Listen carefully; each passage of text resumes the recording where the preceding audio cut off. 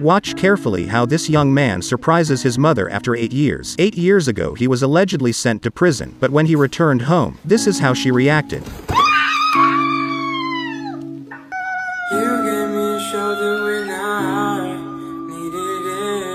He gave her a bouquet and a huge bundle of cash, but she cared about it the least. All she wanted was to be with her son. But the best part was yet to come when he surprised her with her favorite car, and this is how she reacted.